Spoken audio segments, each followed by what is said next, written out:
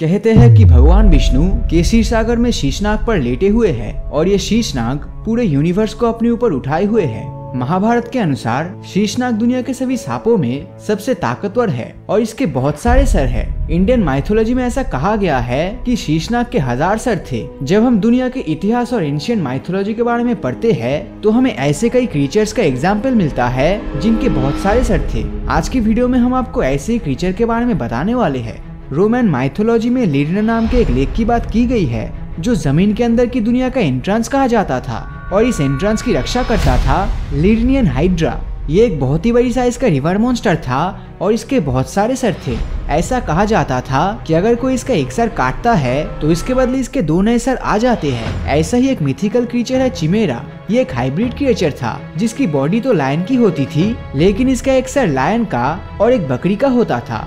Greek mythology में सेरिबेरस नाम का एक मॉन्स्टर डॉग का भी ज़िक्र है, जिसके तीन सर थे। अभी तक मैंने आपको जिन क्रीचर्स के बारे में बताया, उनके सर आगे की ओर ही होते थे। लेकिन एंशियन ग्रीस में एम्फिसबेनिया नाम के एक सरपेंट के होने की बात भी कही जाती है, जिसकी बॉडी के दोनों कॉर्नर पर एक एक सर होता था। यूरोपियन माइथोलॉजी में जगह जगह पर इंडियन ड्रैगन नाम के क्रीचर का ज़िक्र मिलता है। यूरोप के लोग मानते हैं कि उस ड्रैगन के बहुत सारे सर होते हैं, और वो बहुत ही विशाल और ताकतवर होते हैं। कहीं कहीं ऐसा भी लिखा हुआ है कि इंडियन ड्रैगन एक पूरे हाथी को भी निगल सकता था।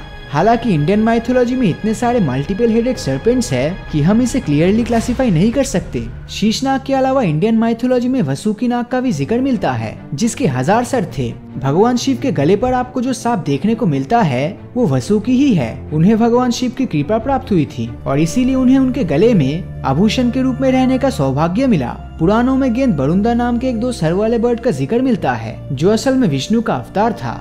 और कहते हैं कि इस बर्ड में जादुई शक्ति थी। ये आज भी कर्नाटक का ऑफिशियल स्टेट एम्ब्लेम है। पुरानों में समुद्र मंथन के दौरान उच्छैसरवस नाम का एक सात सर वाला हॉर्स प्रकट हुआ था। इंडियन माइथोलॉजी में इसे सूर्य देव और असुरों के राजा बाली का वाहन कहा गया है। आपने ऐरावत हाथी का नाम तो ज़रूर सुना होगा। हिंदू, बुद्ध और जैन रिलीजन में इसका बहुत ज़्यादा इम्पोर्टेंस है। थाईलैंड के एंशियंट कल्चर में इसे इरावन नाम दिया गया है और ऐसा बताया जाता है कि इसके तीन या फिर तैतीस सर हुआ करते थे। जब हम चाइनीज़ और जापानीज माइथोलॉजी पर नज़र डालते हैं तो इनमें आपको ढेर सारे मल्टीपल हेडेड क्रीचर्स के बारे में सुनने को मिलता है। ऐसा ही एक जीव था शियांग लियू ये नौ सर वाले स्नेक मॉन्स्टर था, जो अपने जहर से किसी की भी जान ले सकता था और अपनी साइज़ के कारण अक्सर नदियों का बहाव बदल कर फ्लड्स की वजह बनता था। एंशियंट चाइनीज़ टेक्स्ट में गुहोनियो और जीवतोनियो नाम के नौ सर वाले बर्ड का भी ज़िक्र मिलता है। कहते हैं कि असल में एक बुरी औरत का रूप है, जिसकी मौत अपने बच्चों को जन्म देते हुए हो गई थी। इन बर्ड्स के बारे में लिखा गया है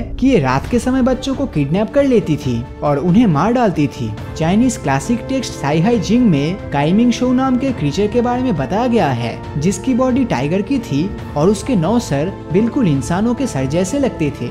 जापानीज माइथोलॉजी में यामाटानो ओरोची नाम का एक आठ सर और आठ टेल वाला ड्रैगन था, जो इशुमु प्रोविनेंस के ही रिवर के पास रहा करता था। कहते हैं कि ये ड्रैगन बहुत ही खतरनाक था और आसपास के गाँव वालों को इससे बचे रहने के लिए हर साल अपनी एक बेटी इसे देनी पड़ती थी। रशियन माइथोलॉजी में स्लेविक ड्रैगन नाम का एक सरपेंट के बारे में बताया जाता है, जो सांप और इंसान का एक हाइब्रिड होता था। एंशियंट स्लैविक टेक्स्ट में इसे जिमेगोरिंज भी नाम दिया गया है। इस सरपेंट के तीन से लेकर दस सर तक हो सकते थे। ये तो बात हुई माइथोलॉजी की। लेकिन क्या साइंस के अनुसार टू हेडेड क्रीचर्स हो सकता है? और क्या हमारे पास ऐसे क्रिएचर का एग्ज़ाम्पल है? इन दोनों सवालों का जवाब हाँ है। 22 फरवरी 2007 को नॉर्थ वेस्टर्न चाइना के जेहुल बायोटा नाम की जगह पर 12.2 करोड़ साल पुराना एक स्केलेटन मिला था। ये स्केलेटन हाइफेलोसोरस लिंगियोनेसिस नाम के एक रिप्टाइल का था, जिसके दो सर थे। ये आज तक के इतिहास में एक से ज़्यादा सर वाले जीव का सबसे पुराना एविडेंस था। किसी इंसान या जानवर के दो या दो से ज़्यादा सर होने की कंडीशन को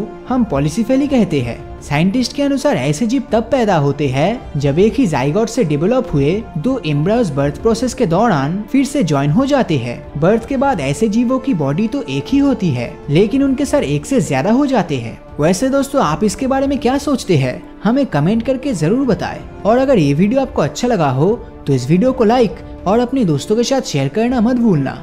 और अगर अभी तक आपने हमारे चैनल को सब्सक्राइब नहीं किया है तो सब्सक्राइब करके नोटिफिकेशन बेल को ऑन कर दीजिए, क्योंकि मैं ऐसे ही वीडियोस हर हफ़्ते लाता रहता हूँ। तो मिलता हूँ आपसे अगले वीडियो में, और हमेशा की तरह थैंक्स फॉर वॉचिंग